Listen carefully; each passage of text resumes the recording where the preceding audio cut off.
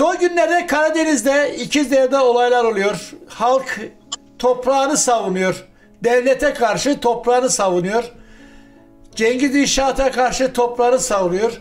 Biz de İkizdere'de neler oluyor diyerek Sayın Başkan Bekir Yılmaz'ı konuk ettik. Çünkü kendisi de İkizdereli. Hocam hoş geldin kum saatine. Hoş bulduk.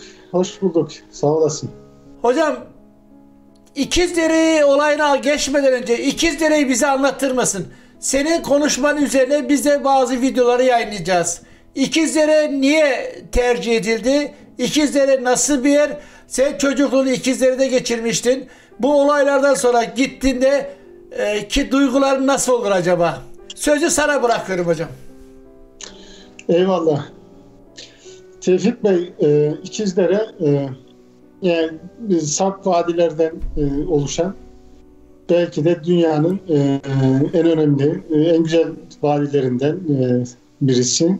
Yeşilin e, her tonunun mevcut olduğu, kışlar soğuk, yazları yaylalarda yine e, e, soğuk bir memleket. E, bizim köyümüz e, dahi e, Rakim denizden 1500 metre yükseklikte. Bizim yaylamız 2500 metre yükseklikte.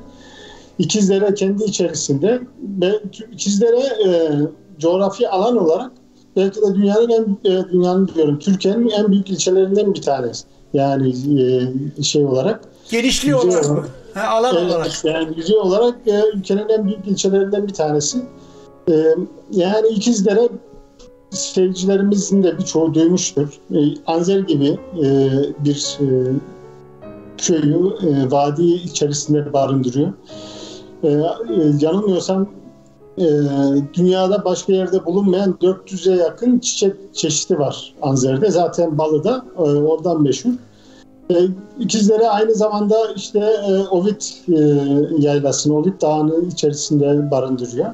Şimdi İkizdere son yıllarda e, Erzurum'u Karadeniz'e bağlayan e, güzergah üzerinde konumlanmış. E, işte tünelin, Ovid tünelinin açılmasıyla, e, şeritli yollar falan yapılmasıyla e, Karadeniz'e Anadolu'ya bağlayacak, Güneydoğu'ya bağlayacak hat üzerine kurulduğu için e, e, o yönde çalışmalar var. Doğayı e, tahrip eden çalışmalar var. E, izin verirsen bundan birkaç sene öncesinde de aynı o e, sıkıntılar yaşanmıştı. Yani İkizdere zaten adı üstünde dere. Yani iki, iki tane derenin birleştiği yer. Evet. Bir, iş, ilçemiz bir, iş, bir işkence deresi var herhalde. Bir siz varsınız değil mi? E, evet. İki, iki tane derenin birleştiği yerde zaten bundan işte 8-10 sene önce o bir ara HES furyası vardı. E, seyircilerimiz e, sizler de bilirsiniz. Evet evet. Orada zaten e, e, doğanın dengesi bir nebze bozuldu. Çünkü e, o HES'lerle yapılırken zaten dereyi neredeyse e, İkizdere'den aşağı yani Karadeniz'e doğru, İyidere'ye, Kalkandere'ye doğru bölümü dereyi kuruttular neredeyse. Yani o bir avuç suyu alıp dağlara çıkardılar. Oradan aşağıya doğru bırakıp işte enerji üretmeye e, güya kalkıyorlar. 269 tane e, HES böyle Türkiye'nin çeşitli yerlerinde, çeşitli derelerinde dereleri kurutarak yapmışlar. Ve bunlar sadece Türkiye'nin enerji ihtiyacının yüzde ikisini karşılayabiliyor. Yani gidin Antalya'da, Ana Adana'da yani Hatay'da ne bileyim Güney'de 2-3 tane güneş e, parkı şey, santralı kurun. O enerjinin kat kat fazlasını üretir. Dereleri, doğayı tahrip etmemiş olursunuz. Yani biraz ikizdereli e, o yöre insanı zaten e, 8-10 senedir bu konudan e, müzdarip. E, şimdi e, bizim e, Erzurum'dan gelen güzergah yolun Karadeniz'e iniş e, yeri İyidere ilçemiz. İyidere'de lojistik liman yapılacak. Orada işte bilmem kaç milyon ton şey lazım. E, Taş. taş. lazım. E, denizi dolduracaklar. Deniz doldurularak da üzerine e, liman yapılacak. Yani İkizlere insanı veya Rize insanı tabii ki gelişime karşı şey değil ama yani zaten taş ocakları vardır. Çünkü havaalanı yapıldı. Yine Rize Artvin havaalanı tümüyle doldu. oradan aldığınız yani açtığınız taş ocakları oradan getirin. Belki biraz daha uzaktır. Yani şeyi maliyeti, masrafı biraz daha yüksektir. Zaten Oradan ondan, alın. Tek- ondan tek- dolayı o- ora, tahrip ediyorsunuz yani? Güzelim memleketi dün gitmiş AK Parti Genel Başkan Yardımcısı Hayat Yazıcı aynı zamanda kendisi de Rizeli. Gitmiş işte ne bileyim 3 sene kullanılacak taş ocağı ondan sonra yeni eski haline getirecek. Getirilebilir Madem yeni, yeni eski haline getirebiliyorsun o zaman niye tahrip ediyorsun yani? Yani Kafaya bakar mısın? Bir de milletten neredeyse alay ediyorlar. Antiparantez olarak belki şunu e, söylememe izin ver. Bizim İkizlere Belediye Başkanı e, MHP'li aynı Evet. zamanda da e, Cumhur İttifakı'nın üyesi. Yani e, gerçekten de e, ilçemize son yıllarda e, güzel hizmetler vermiş sağ olsun. Yani o ona bile artık gına şey gelmiş yani e, belediye başkanımızla Doğan'ın bu şekilde tarif edilmesine e, kendisi de karşı çıktı. Bazıları tarafından sosyal medyada linç edildi, edildi neredeyse. Ama e, yine de e, tavrından vazgeçmedi. Yani İkizdere'nin durumu bu. Dünyanın en güzel vadilerinden, belki en yeşil vadilerinden bir tanesi. Az önce söyle, girişte söylediğin gibi çocukluğumuzun geçtiği, neredeyse her sene gidip e, silah rahim yaptığımız e, güzel memleketimizi böyle taş ocaklarıyla, ne bileyim işte HES'lerle e, o doğal dengesini e, bozmaya e, böyle sanki yemin etmişler gibi e, devam ediyorlar. Bir de bunu yani bunu yapan, yaptıran ikisi de Rizeli yani. Birisi ne bileyim ülkenin Cumhurbaşkanı, evet, öbürü ben, inşaat, inşaat sahibi yine Rizeli. ben de onu Geçen- söyleyecektim yani. Ben de Bir- onu söyleyecektim. Yani geçen bir e, güzel bir yazı e, okudum şöyle teşbih tahta olmaz.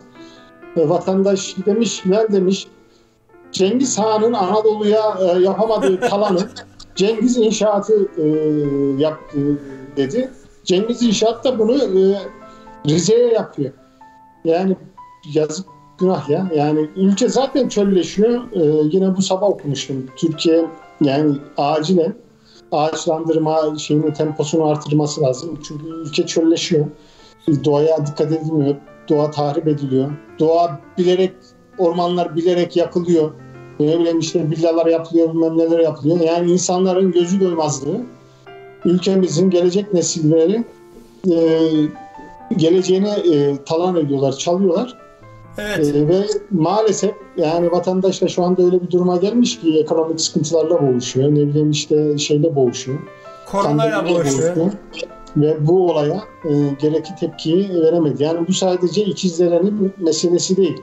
Bu ülkenin, ülke insanının, ülke dışında yaşayan insanların, bizlerin de yani en azından sosyal medyadan bu gibi araçlarla sağ olun sizlerin sayesinde tepkimizi ortaya koymamız lazım. Yani ülkenin e, doğal varlıklarına e, sahip çıkmamız lazım. Aksi halde e, e, ülke çölleşir. Sonra oturur hep, hep birlikte gelecek nesiller için ağlarız yani. Hocam geç- geçen ben bir e, Face'e yazı paylaştım. iki gün önce mi ne? Türk polisi dedim sanki e, yürüyüş yapanlar ne bileyim bir şey yapanlara o kadar şiddetli davranıyor ki. Yani bu bunun e, Türk kanı taşıması, yani ırkçılık yapmıyorum ama yani e, insanoğlu yapmaz o eziyeti. Şimdi arkadaşım biri yazmış sen yabancı polislere bak diyor buradaki bu. Ya ay, beni ilgilendi. Ben Türk olarak Türk polisini görüyorum. Şimdi askerlerin orada direniş yapan kadınlara insan erkeklere yaptıkları olayları sosyal medyada görüyoruz. Bunu nasıl değerlendiriyorsun? Bu gaz sıkmaları, köylü annemiz, babamız yaşında, dedemiz, nenemiz yaşında olan insanlar var. Böyle davranışı sen bir Rizeli, ikizleri olarak nasıl karşılıyorsun?